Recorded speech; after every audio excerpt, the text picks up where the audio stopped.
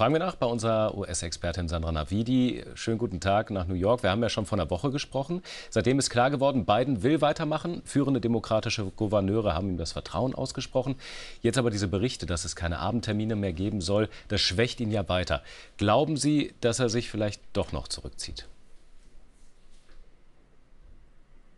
Das halte ich für sehr wahrscheinlich. Präsident Biden ist angezählt und hinter den Kulissen formiert sich der Widerstand. In den letzten Tagen ist ihm nicht gelungen, sich zu rehabilitieren und dieses Verhalten gibt natürlich den äh, Republikanern Material an die Hand, dass sie gnadenlos für ihren Wahlkampf ausschlachten können. Dementsprechend verschlechtern sich die Umfragen weiter dramatisch. Was ich hier selbst vor Ort mitbekomme von Demokraten und vor allen Dingen auch von Parteispendern ist, dass auch diejenigen, die sich ursprünglich hinter ihn gestellt haben, auch nach der Debatte immer größere Zweifel bekommen. Und was sich jetzt für mich als eines der vielversprechendsten Szenarien auftut, obwohl sie eigentlich nicht meine Favoritin ist, wäre, wenn Präsident Biden vorzeitig als Präsident noch im Amt zurücktreten würde, Kamala Harris von der Vizepräsidentin zur Präsidentin aufsteigen würde, dann hätte sie bessere Startchancen, auch statistisch. Sie könnte rechtlich auf die Spenden, die ihm zugekommen waren, zugreifen. Und sie, man muss davon ausgehen, dass sie in der Vergangenheit hoffentlich im Amt auch gelernt hat und ihre Schwachstellen, wie vor allen Dingen ihre rhetorischen und ihre Fähigkeit, mit den Wählern zu connecten,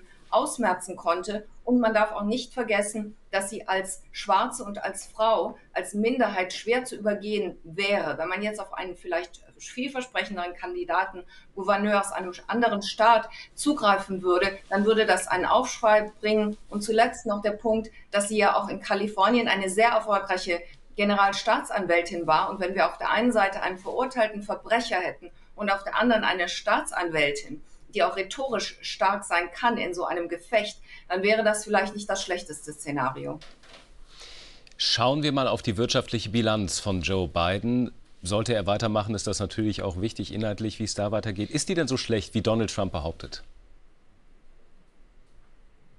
Nein, die Wirtschaft floriert. Wir sehen Erfolg, äh, wir sehen Höchststände der äh, Beschäftigung, wir sehen Rekordhochs an der Börse, Rekordhochs ähm, von Unternehmensprofiten. Wir sehen, dass sich Unternehmenslenker in der Industrie und der Wall Street hinter ihn stellen. Sie geben, oder zumindest bis jetzt, sie geben ihm Bestnoten für diese Performance. Und auf der anderen Seite steht ein Donald Trump und die Republikaner, die die Demokratie abschaffen wollen, ein Supreme Court, der alles durchgehen lässt, ein Donald Trump, der die Einkommensteuer abschaffen möchte und das, was, man, was er dadurch einnehmen würde, durch Zölle bis zu 200 Prozent aus China und Höchstzöllen auch gegenüber anderen Ländern wie Europa äh, ausmerzen möchte. Das heißt, es sind extreme Szenarien, die sich da gegenüberstehen und deswegen haben jetzt auch 16 Nobelpreisträger Wirtschaftsnobelpreisträger ganz stark vor einer neuen äh, Trump-Administration gewarnt. Also Bidens Ergebnis lässt sich sehen.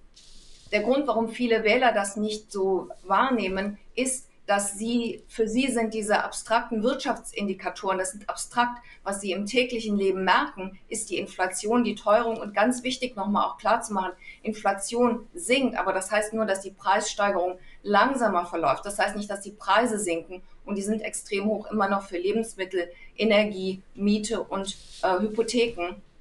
Und das tut ihnen weh. Und da erinnern sie sich an Donald Trump, dass es ein globales Phänomen ist. Diese Inflation interessiert sie da weniger leider. Sagt Sanana Vedi. Ganz herzlichen Dank für Ihre Einordnung. Sehr gerne. Danke.